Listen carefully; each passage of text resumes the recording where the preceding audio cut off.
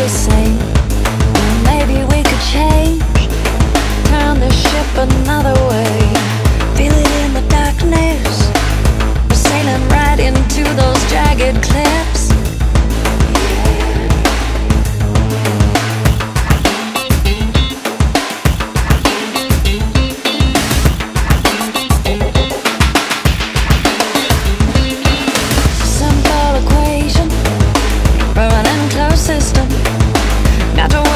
missing.